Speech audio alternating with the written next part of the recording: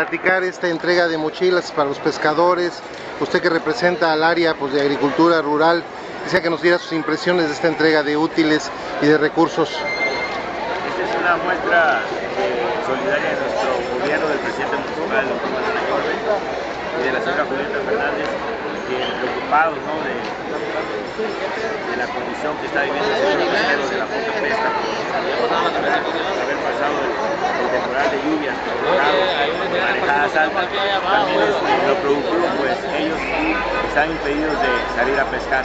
Por ese motivo, este, y con, con la principal eh, interés de que los pescadores en estos momentos difíciles de captación de recursos podamos nosotros asistirlos con, con las mochilas, eh, los paquetes educativos, que son mochilas que vienen con, con útiles escolares, lápices, reglas, que son completos, para 300 hijos de pescadores que están estudiando la primaria, secundaria, eh, esos niveles.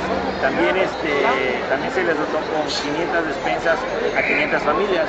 Esto es, sola, es con el objetivo de que en estos momentos difíciles en los que, el sector pesquero se le, se le complica hacer pesca del pasado de un temporal prolongado de lluvias y de las marejadas altas, eh, asistirlos con este recurso que para ellos es una economía y aparte no lo tienen para dárselo a sus. Cosas muy importantes que nos acaba de decir, señor, que realmente la gente más necesitada está siendo atendidos por la, el municipio y que no los deja de vigilar para que esto no se desborde. Eh, habló de que se espera una mejor temporada, pero por mientras están siendo atendidos el sector pesquero, muy importante. Pues señor, ahorita cómo va el área rural que usted representa, que ha sido también muy golpeada, pero que ustedes han estado atentos con ellos. Sí, este, en lo productivo, en lo productivo, el desarrollo rural, el doctor Manuel, el municipal, ha fomentado diferentes actividades, diferentes acciones. Eh, ya ahorita estamos concluyendo el ejercicio del 2000, 2011, el con, buenos resultados. Eh, para los agricultores somos, en este temporal fue muy bueno, eh, fuimos, apoyamos cerca de 11.000 hectáreas en la cual se apoyamos con los insumos de fertilizantes y paquetes tecnológicos para producir grano. Entonces ahí tenemos ahorita el municipio de Acapulco, si no, si no somos el segundo lugar, estamos entre los primeros tres lugares en producción de maíz en el estado. Entonces nuestras cosechas han sido buenas, eh, los productores del campo han sido apoyados por este gobierno municipal.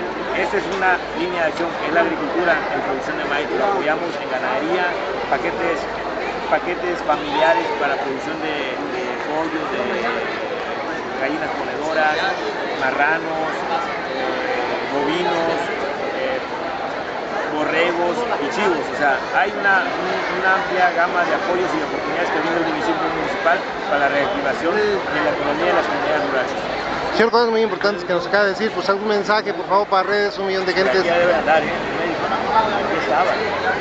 Un, mensaje para un millón de gentes que nos ven en Europa, Estados Unidos, Canadá, que oportunamente desde que usted inició esta administración hemos estado cubriéndolo, señor. Sí, este, pues tuvimos la oportunidad de, de, estar al frente del sector agropecuario y pesquero del, municipio y con la principal intención de, de, de atenderlos, de asistirlos en lo productivo y en lo social. Esta es una muestra, ahorita estamos cubriendo lo social, pero siempre hemos estado de la mano. También participamos en, también dentro de lo social, porque no todo es, es estar en lo productivo, metidos en el campo, en la pesca. También este, participamos en una revista naval con el ganado China, el sector pesquero.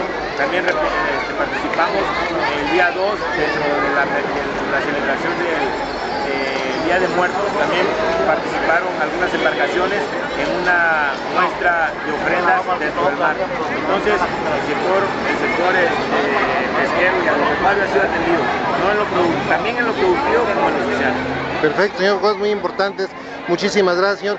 Su nombre y cargo para todo el mundo que nos ve. Ingeniero Jaime Luis Colón García, director de Desarrollo Rural del municipio de Acapulco. Gracias.